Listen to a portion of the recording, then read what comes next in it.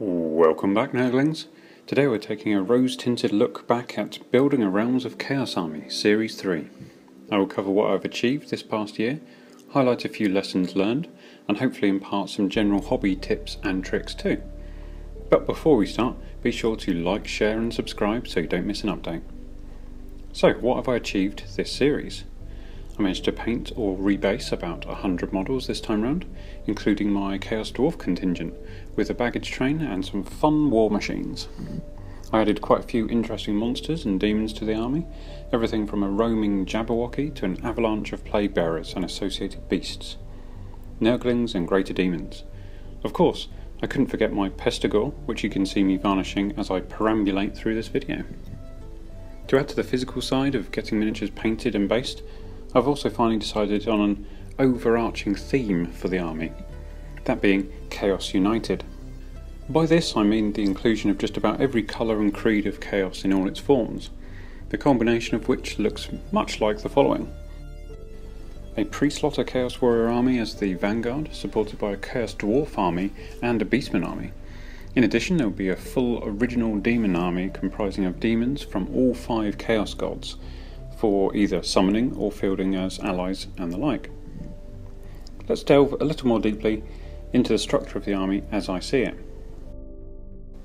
The Chaos Warriors will be predominantly pre-slaughter with supporting characters, chariots, knights and baggage trains. They will also command a barbarian contingent made up of barbarians, thugs, mutants and mutated humans of various guises. The purpose of this army is really to provide a solid core to the main force, something that all the other armies can bolt onto or support in one way or another. It is made up of primarily unaffiliated Chaos Warriors, so I guess you could call them Warriors of Malal or Chaos Undivided. The Barbarians provide some cannon fodder against ranged armies and additional manoeuvre elements to what would otherwise be a rather slow and blocky force, which would be catastrophically vulnerable to ranged weapons and magic. The Chaos Dwarfs are the siege masters of the combined force. All war machines will be under their command, including everything from the mighty giant Chaos battering ram to simple Skaven weapons teams and Orc catapults.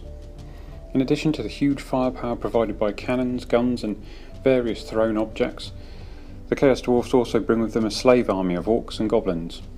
This will have wolf riders, slaves, black orcs, and archers to provide the solid Chaos Dwarf core of 100 Chaos Dwarfs and attached war machines with flank protection.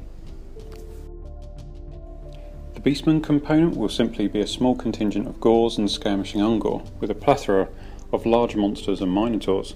This force is led by a Vermin Lord and will combine beasts from all corners of the old world, including lizardmen, skaven, beastmen, and mutants.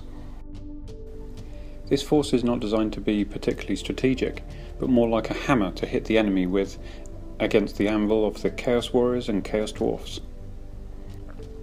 Each of the Chaos Gods then has a huge demonic army made up primarily of demons, but also dedicated worshippers of their chosen deity. For the Nurgle army, I will be including Plague Bearers, Nurgle Chaos Warriors, Pestigor, Clan Pestilence Plague Monks, Plague Zombies, Ghouls, and Mushroom Men. They will be assisted in their endeavours by a mixture of beasts and spawn. They'll be led to battle a grand alliance of seven great unclean ones. In the Khorne army, I am including noticeably fewer demons and more large creatures and monsters.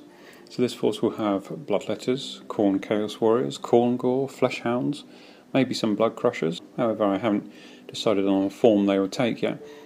They'll be led into battle by Arbaal the Undefeated, supported by his lieutenants in the guise of Bloodthirsters and Gargoyles. The Tzeentch army is modelled on a rainbow of colour and weirdness in equal measure. The main units being blue horrors painted in 16 different colours, Tzeentch Chaos Warriors, and a square of bird like warriors with great weapons. They will have a battle rooster, basilisk, various characters on flying discs, and no doubt a fair few sorcerers. They will be led by three Lords of Change, each painted in a primary colour, as if they are made up of the base colours of magic. Slaanesh army will be made up of an unholy alliance of demons and dark elves.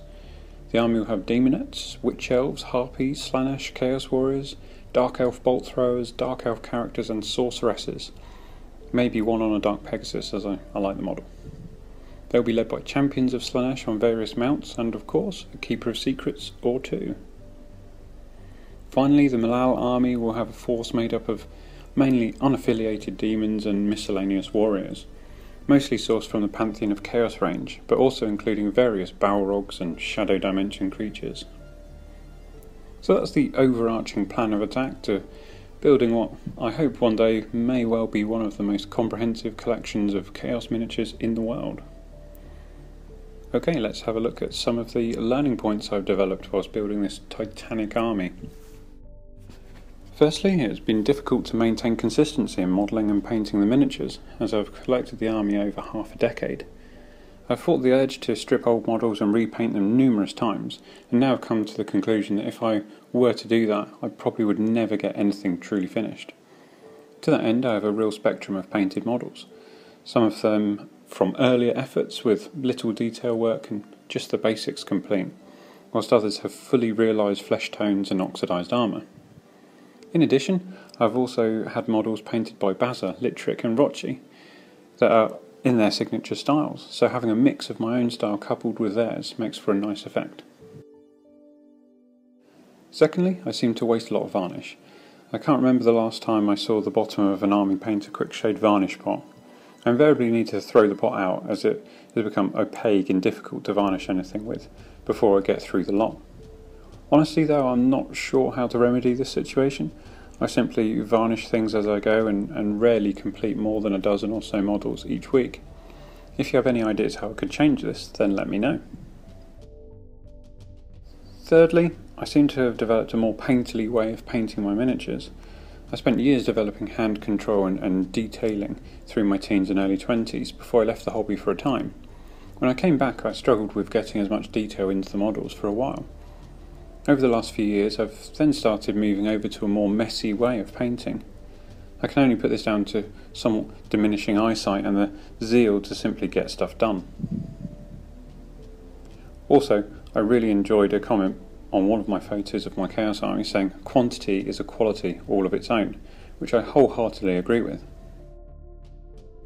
Moving on from lessons learned, I have a few hobby tips when building a large scale army, don't do everything at once. Ensure you have a few models to clean, glue, sculpt, paint, varnish, and base at any one time. This will give you a variety of hobby tasks to be getting on with. So if you aren't feeling particularly creative, you can varnish or base a few models. If you're keen to try a new brush, then you have some models ready to be painted.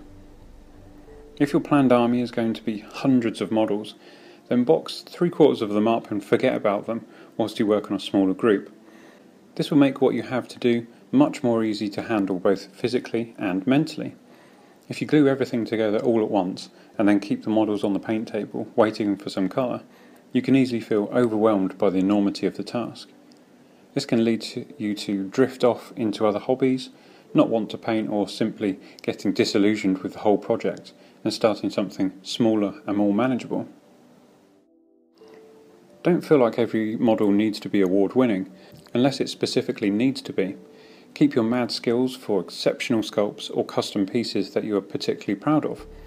As I said earlier, quantity is its own quality, and you will absolutely understand this when you have a hundred fully painted, varnished, and based models, neatly ranked up and ready to go. Especially if it took you the same time to complete them as it would to do a Golden Demon winning project. Prioritise like a boss. I'm constantly telling staff in my working environment to prioritise their workload, and it's just as important to do so with hobbying. If necessary, make a list of things you want to work on every month, week, or day, and stick to it. With this method, you should mix characters, war machines, monsters, and troops up liberally so you don't get bogged down with painting dozens of the same thing. Make time to show off completed models. Photograph them and show them in groups to your mates or put them on a blog. Feedback is great and can really help with motivation to start that next unit if you're starting to flag. You can ask for advice, make up a story for the unit or character, or simply load them up to a photo sharing site and share them. Anything like this can be a boost. Collect unique miniatures. One of my rules for collecting is never have two of the same model in an army. This means No matter how they are arranged for battle, you'll never see the dreaded twin effect that plagues many otherwise fantastic battle scenes in old White Dwarf magazines and is endemic in historical miniature collections. Well, that's just about all I have for you this time round. I hope you gleaned something from this series and this video. Maybe some of you have been inspired to start your own Oldhammer collection. If you have, please let me know about it below. Remember to comment, like and subscribe, and thanks very much for watching. Peace.